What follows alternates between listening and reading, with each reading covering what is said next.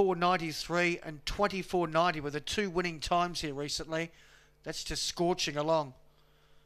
And that will win a race nine out of ten times. He's 140, 145 fixed. Get involved 820. Miranda Rose High, $11 is the third liner. But all the rage, Harry Bailey. He's into a dollar thirty now. They're crunching him late. There's a green light. This is race eight. Short price favourite drawn the red. Harry Bailey. Set.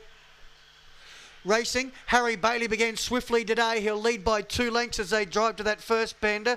Getting up to second was Hoop Dreams. Third, Fabulous Wall. And back to fourth was Miranda Rose High. Then Social Dancer. Four length break. Then two, Fabulous Wall. And the last pair were Trap Man and Get Involved. But Harry Bailey, he leads by six before the bender. Pebble Bay's trying hard. It's up to second. Then Miranda Rose High and Hoop Dreams. But all the way, Harry Bailey. It wins by four. Good first up run by Pebble Bay second. Third, maybe Miranda Rose High, but also there is Hoop Dreams.